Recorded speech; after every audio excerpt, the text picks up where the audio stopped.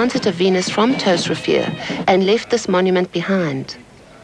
The telescopes of those observers were mounted on these blocks. Well, in um, former years, and as in 1882 in this case, uh, the distance between the Earth and the Sun, the, so- the so-called astronomical unit, was um, it was fairly well known, but uh, transits of Venus was a very direct method to determine this this distance, and um, they sent out expeditions.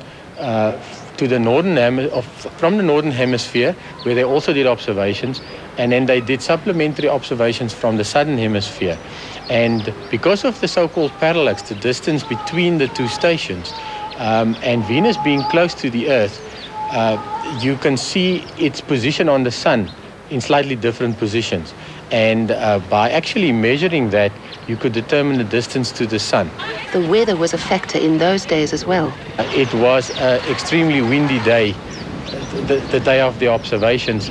They borrowed uh, some tarpaulins and, and poles and stuff from the railways, and uh, uh, they rigged up. And, and uh, Corporal Johnson was, was responsible for uh, trying to keep the sun off their chronometers, trying to keep the observers in a bit of shade.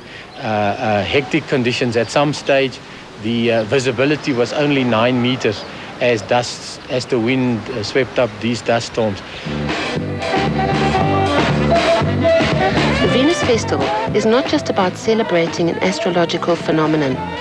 It's also about rejuvenating a community. Ons is nie meer 'n skooldorp nie. Ons gaan ons gaan weer op die map. kom. Ek dink ons is klaar vir ons op die map gesit met die Venusfees.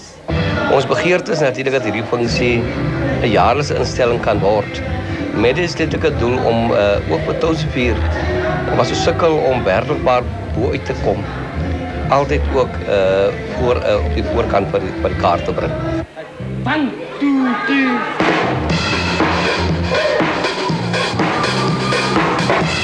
Helen Alexander and cameraman Tula Manari in Touwsrivier for Morning Live.